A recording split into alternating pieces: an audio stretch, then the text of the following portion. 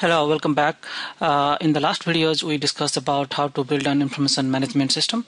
And in this in this video, we are going to take our first baby step, actually how to build one. So you must have you must have already seen a lot of internet-based application.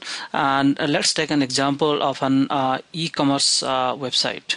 So an e-commerce uh, application. Okay, so uh, in context of this e-commerce application, we'll understand what is the database they need, and uh, we'll design one backend database for an e-commerce site.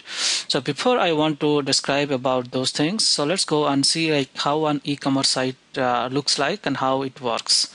So in my example, I have a, a, company called ABC Company. ABC Company sells uh, different things like hardware, games, DVD, gadgets, and all this thing. And whenever you go to their uh, front page, which is catalog page, you will see uh, exactly something like this. So a product and the price, and then if you like some product or something, let's say you want to buy a Samsung tab, so you click on this, and then you just review, you know, information about uh, about this thing, and then you say that okay, I like it, and then you add to the cart, and you want one item, or if you want multiple item, you can put it here, and then you say checkout. So if you check out and then it will ask you uh, if you are a new customer or returning customer. Let's say I'm a new customer. So what I'm going to do, I'm going to create an account. Okay. So I'm going to create an account here. So first name is uh, John and last name is uh, Kalmar and date of birth let's say um, something about 93 June 15 and email address uh, john at gmail.com and then uh, I'll give my address because that's where they're going to send. And let's say send is in 786 Palo Alto Avenue. And then postcode is 98765 city is Palo Alto state California and then country say US okay. And then I have to give my telephone number say just let's give some random numbers and then give my password and the password is welcome on. Welcome on and then I say continue. Okay.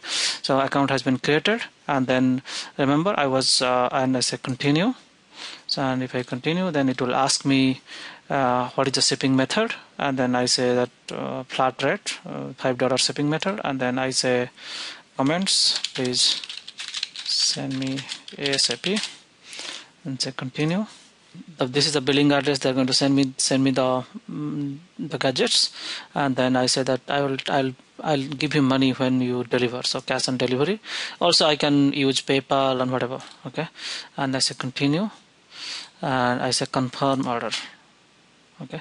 So your order has been processed and then they are basically sending me a Samsung Galaxy tab. Okay as a continue. So this is the process. So basically uh, so let's uh, again summarize what we did. So we browse the e-commerce site and then depending on the category and depending on the product we choose one product then we or we order one. Okay. So all these things happened over the internet okay. So essentially what we want to uh, deal uh, from now onwards is that how do i create how do i build a database system for this kind of application?